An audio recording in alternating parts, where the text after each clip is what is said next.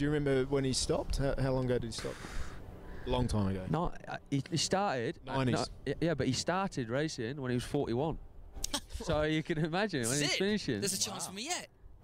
So Steve, what, you were No. about 51. thank you.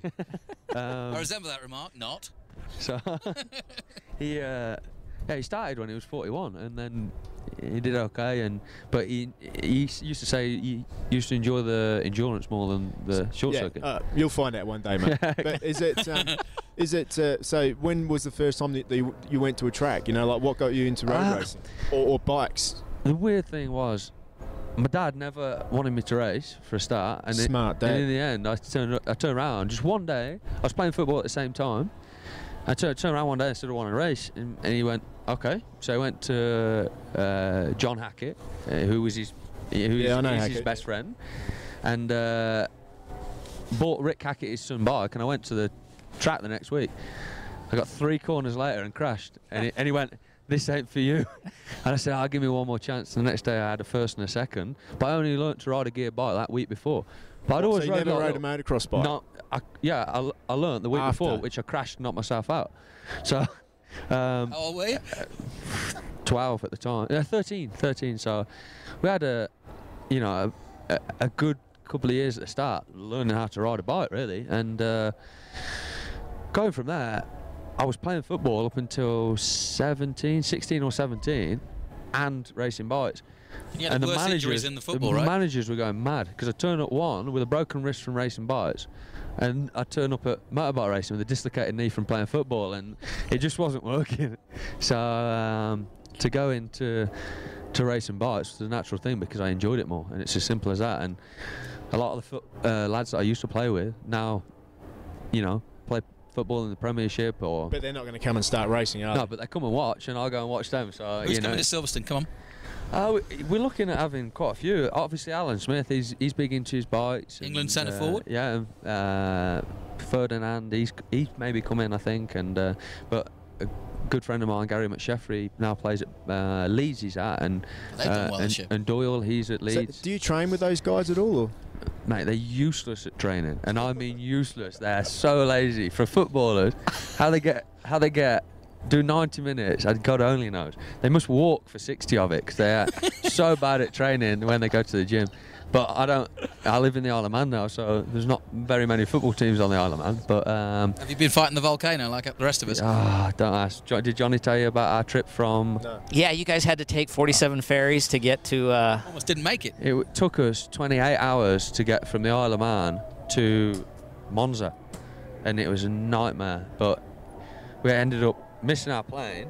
That then we had miss our connecting flight. So we got um, a ferry, three o'clock in the afternoon ferry on Tuesday, to to Liverpool.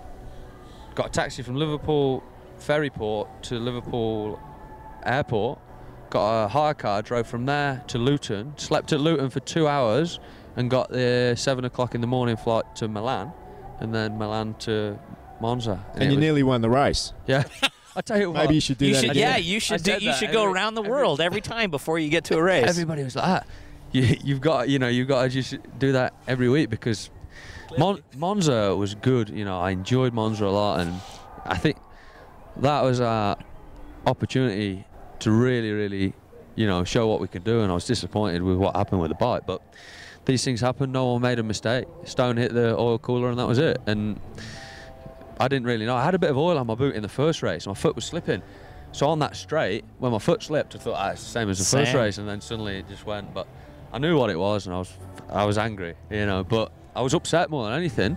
You know, I got back to the motorhome, tears and everything, but only because you get so close to being able to, Yeah, I've been there. you know, and I knew I knew what was going to happen in the race. You know, I I not planned it because you can never plan anything in racing. Something will happen that you just don't plan, and uh, I knew where I could pass Max, and I knew how I had to do it. And I know it sounds really stupid, but I had to shove him up a slip road because if not, he, he was just going to come back past me on the straight, same as what he did to Leon. As soon as Leon passed him, he come back past him, not even in the slipstream. So, you know, You get good at this, so I heard knew- you wouldn't let him into his pit this afternoon. Tell us about that. Ah, no, I don't, I don't have the best relationships with Max Biaggi, I'm sure. but I don't know if I don't know if that's no, me. come or I on. don't know That's it's not what you said to me earlier. I don't know if it's that, that's me or that's everyone, but I think he just does it to annoy you. But in the end, it'll just end up annoying you to make me want to beat What, him. what more. did he It's do? not- I, I missed that. Oh, they came into the pit lane together about it all the 140 time. mile an hour. Go on. he what just. Oh, slow down, oh, we lad. were standing there, and he just came out of nowhere and and shot off your yeah, front after end. the checker flag. Yeah. you know, he Yeah. just he does it to everybody, and everybody's just like stupid. But if he's that threatened by people, he has to do that. It's pretty cool, to be honest. I, I can't like it. to say to say, uh, you know, a, a world champion of his caliber in you know, and the racer he, he was in MotoGP has to do that. To, He's got a bit of a history of doing it though. Yeah, yeah, MotoGP, yeah, he's yeah. Yeah, yeah, no, it's, it's, times. he's a psychological man. I, he can- I can see why Valentino Rossi didn't get on with him, So you, you, you and I'm a him the bird Valentino fan, so So you just wouldn't let him in his pit when he came in then? no, I just wasn't very happy. So yeah.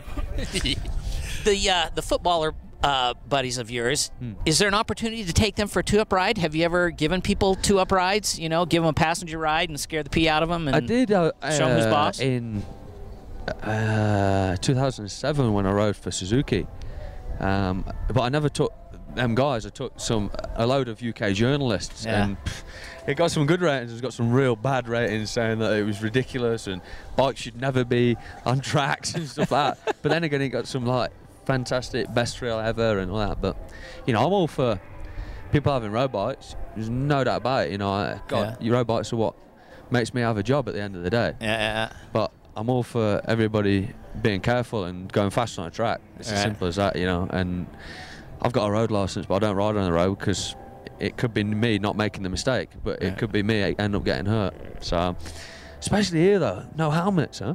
I, I, Ah. it, I'm glad you brought it up because I love America and I love coming to Salt Lake, but it does freak me out the helmet thing here. I mean, I, I'm all about freedom, but just wear a helmet. Yeah, know, well, fall off and then do it again next week. every, yeah, everybody I've sort of spoke to, I said, you know, why don't you wear a helmet? They say oh, it's not the law. Yeah, but you, you know, you've only got one head. Not a condom, but you know. but it's uh, nah, you know, I love America as well.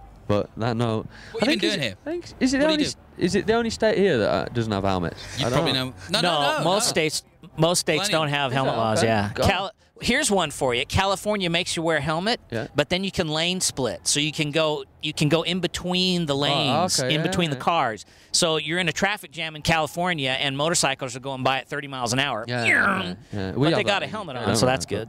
What do you like about America? Oh, I love it. I've, I, Walmart is Walmart good? Walmart owns Asda in the UK, so, So, yeah, I, I go on. there every week. All right. Um, Asda. yeah. Um, no, I tell you, we're just looking at having a house over here, just Where? just for the winter in California somewhere. Yeah. Bit of motocross in there. I, what would you rather do? Be So you'd be a regular on the show then? yeah, but but what would rather be? Be in rainy Europe Oh, in, in I'm- winter, mate, or I'm be 100% in with you. decent sun? But you know, with the job that we do, we're out of country so much anyway. You know, I love the Isle of Man where you know where I am now, and um, but you know, it- we don't get to stay there that often. And then when we are there, it's normally miserable. cold, cold, you know. But it's some summer now with the TT and that, I'm looking forward to going back there. But um, Do you enjoy something like the TT? Because I think those guys, I mean, I know you know most I of them, but it. they're insane. I do love it. I mean, close to your and, insanity, but and for me, I can see why they get the buzz to do it. Sure. You know, are you gonna do it? Never do it. I will never do it. Thank you. But but I can see why they do it, and I can see why they have the buzz to do it because it's fantastic. You know, the adrenaline that they must have to do it. I cycle around it, and I feel like I'm, you know, I feel like I'm riding, racing it. But um, no, it's good. You know, and it's just. It's a sport within a sport, if you go. I mean, I, I feel you know. I- Yeah. I, think it's com- something completely different, Yeah. but in our sport. But you won't catch me going on that, that you know, them tracks at that speed. Well, you say that, but then, you know, I think you would. You'd just go the same speed as everybody else. But I'm not. I'm sticking to to racing short circuits and uh, hopefully have a good career at that.